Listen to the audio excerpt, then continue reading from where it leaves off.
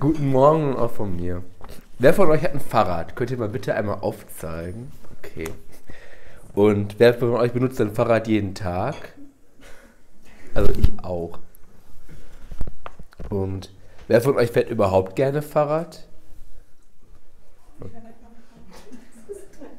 Okay. Wie ihr ja wisst, bin ich Wahlhamburger. Fühle mich aber allerdings immer noch als Nieheimer beheimatet. Aber eigentlich komme ich aus Kollerbeck. Wenn wir uns früher mit Freunden getroffen haben, sind wir, sind wir dorthin immer mit dem Fahrrad gefahren. Meistens im hellen hin, im dunkeln zurück. Dummerweise hatten nicht immer alle ein funktionierendes Licht am Fahrrad. Bei einem zum Beispiel ging das Rücklicht nicht, beim nächsten nicht das vordere. Manche hatten gar kein Licht. So kam es, dass wir uns immer aufeinander verlassen mussten. Wir sind in Halle alleine hingefahren, in Hellen alleine hin und im Dunkeln zusammen zurückgefahren. Der mit funktionstüchtigem Rücklicht ist hinten gefahren, der ohne Licht in der Mitte und mit der Licht hatte ganz vorne. Es hat Gott sei Dank immer funktioniert. Genauso wie wir uns früher aufeinander verlassen haben, wünsche ich mir das für unsere Freizeit. Im Johannesevangelium habe ich sehr spannende Bibelverse dazu gefunden. Jesus spricht darüber, wie er sich das Leben einer Gemeinde vorstellt. Johannes 17, Vers 20 bis 26. Jesus spricht, ich bete nicht nur für die Jünger, die hier anwesend sind, sondern für alle, die durch ihr Wort zum Glauben an mich kommen. Jesus betet weiter. Ich bete darum, dass sie alle eins seien, so wie du in mir bist, Vater, und ich in dir, damit die Welt glaubt, dass du mich gesandt hast. Okay, krass. Ich finde, hier steckt ganz schön viel drin. Was ist euch zuerst aufgefallen? Das erste, woran ich gedacht habe, worüber ich mich echt so gefreut habe, ist, dass Jesus für uns betet. Wir fahren zusammen auf Freizeit mit Jesus. Ja, und ja, was hat das jetzt alles mit Fahrradlichtern zu tun?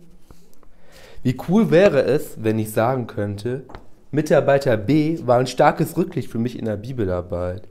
Oder Mitarbeiter D hat die Arbeit, hat so viel Arbeit in die Planung gesteckt und mir den Weg sozusagen geleuchtet. In der Bibelstelle erwartet Jesus von den Jüngern, dass die Botschaft des Herrn weiter, dass sie die Botschaft des Herrn weitergeben. Die Jünger sind ein Team und verkünden den Glauben in unsere Welt. Ich wünsche mir, dass wir eine Gemeinschaft sind. Wenn wir eins sind, wir alle am selben Strang ziehen, wir die christlichen Werte einhalten, wenn wir alle unseren Glauben weitergeben wollen, mit Überzeugung, uns ohne Gegenleistung zu verlangen, helfen, dann überträgt sich auch unser Glaube automatisch nochmal auf uns und auf die Kids. Der letzte Vers gibt alles nochmal wieder. Jesus spricht weiter. Ich habe ihn, also den Jüngern, gezeigt, wer du bist und werde es weiter tun. So wird die Liebe, die du zu mir hast, auch sie erfüllen und ich werde in, in ihn leben. Daran soll die Welt erkennen, dass du mich gesandt hast.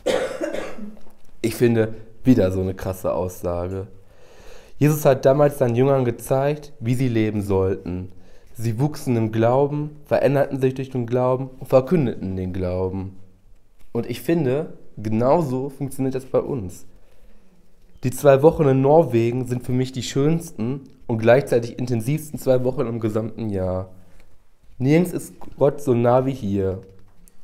Das liegt aber auch daran, dass wir als Mitarbeiter eins sind und wir zusammen den Glauben weitergeben wollen. Jeder von uns hat Anteil daran. Ich habe damals als Teili gemerkt, irgendwas muss am Glauben sein.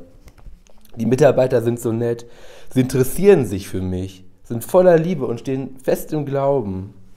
Irgendwas ist da anders und das wollte ich auch. Und genau das wünsche ich mir auch für diese Freizeit.